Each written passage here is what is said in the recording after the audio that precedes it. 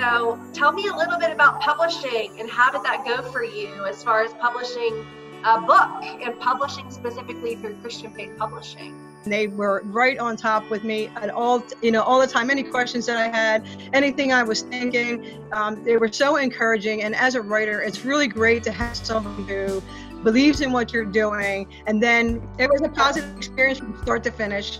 They they helped me every step of the way, and um, they could they just couldn't have been more more gracious. I loved it.